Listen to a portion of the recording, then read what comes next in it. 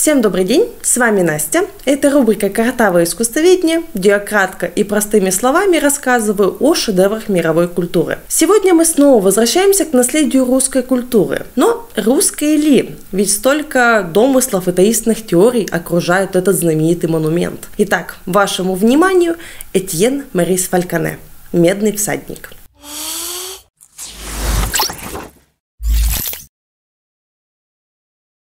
Данное название памятнику дал Александр Сергеевич Пушкин в своей одноименной поэме. Хотя, конечно, сам памятник императору Петру I был отлит не из меди, а из бронзы. Напомню, что бронза – это сплав меди с оловом. Так что чисто технически всадник медный, но не полностью. Памятник расположен на Сенатской площади в городе Санкт-Петербурге. Торжественное открытие произошло в августе 1782 года, но изготавливали его с 1700 1768 по 1778 год. А завидую зрителям, кто в данный момент находится в Санкт-Петербурге и может сходить в Эрмитаж, посмотреть на Рембрандтовского блудного сына, о котором мы говорили в прошлый раз, выйти из музея и буквально через 12 минут ходьбы оказаться у памятника Петра. Я вот в Петербурге была в 2010 году, умудрилась не посетить Эрмитаж, но бедного всадника видела. И больше всего мне запомнилось, как один иностранец, почему-то я подумала, что он итальянец, э, пытался сфотографировать сам себя на фоне памятника Петру. И по той причине, что в моих родных краях культура селфи еще не была так развита, я смотрела на туриста и думала, боже, мне его так жаль. Он так одинок. Но оставим мемуары автора и вернемся к скульптуре. Она чрезвычайно монументальна.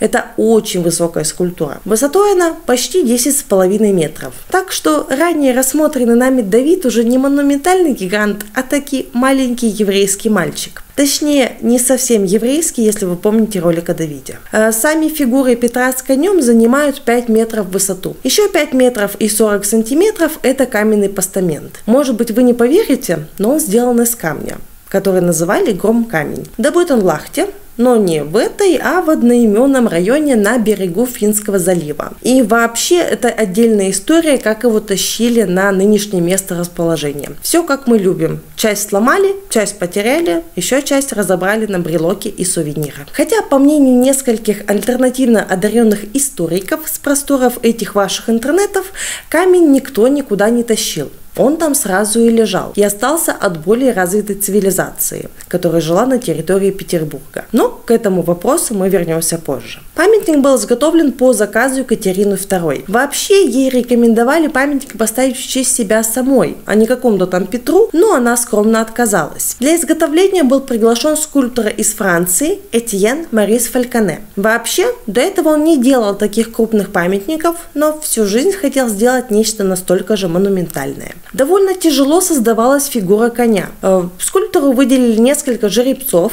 которые на полном скаку взлетали на созданный помост, а скульптору необходимо было за миллисекунду нарисовать эскиз. Э, фотографий тогда не было, но труды того стоили. Сама фигура Петра получилась с первого раза, а вот голову скульптор три раза переделывал и презентовал императрице. Но ее каждый вариант не устраивал, потому что было не похоже. Поэтому скульптор делегировал изготовление головы императора своей ученице Марии Анкало. Ее варианты стал итоговым. Если мы получше рассмотрим глаза монумента, то увидим, что в его глазах сердечки. Есть слух, что Мари Фалькало сделала их с намеком романтического интереса к своему учителю. Хотя, кому проявлял любовный интерес Микеланджело, учитывая, что зрачки ранее упомянутого Давида также в форме сердца, это вопрос важный, на которого ответа, увы, нет. Вернемся к Кало и Фальконе. Считается, что они были в отношениях, несмотря на 32-летнюю разницу в возрасте. Они много работали вместе, путешествовали, а впоследствии Мари Анкало вышла замуж за Фальконе, но не за скульптора, а за его сына. И вскоре рассталась с мужем, потому что он оказался кухонным Рэмбо и абьюзером, вернулась к свекру и жила с ним до момента его смерти. И даже ухаживала за ним, когда он последние 15 лет своей жизни был прикован к постели. Романтика. Также создатель скульптуры намучился с ее отливкой. Учитывая, что до этого отливкой бронзы не занимался, Ничего удивительного. Притом он хотел делегировать это развлечение более опытным мастерам, но ему запретили. Итогом первой отливки стал пожар в мастерской и полное уничтожение верхней части скульптуры. Но на второй раз все получилось. Верхнюю часть переплавили заново и прицепили к нижней. А в противном случае получился бы памятник не Петру, а Анне Карениной. И никто бы отсылку не понял, потому что на тот момент Лев Толстой еще не родился. Теперь поговорим в целом о композиции. Конь находится в динамике, а вот всадник застыл, как памятник самому себе. Уж извините за каламбур. Его поза, выражение лица и жест выражают собой покой и уверенность. Словно Петр говорит, вот моя рука, я и коня укротил, и бородатых боях, и вообще я не какой-то там царь, а император. Завидуйте, у меня даже есть лавровый венок на голове. И вот этот лавровый венок вызывает у товарища конспирологов вопросы. А почему это российский император носит какой-то непонятный античный венок? И почему у него под э, пятой точкой не седло, а шкура? И самый главный вопрос почему через его сапоги просвечивают очертания пальцев ног. Неужели это были сандалии? И нашлось объяснение.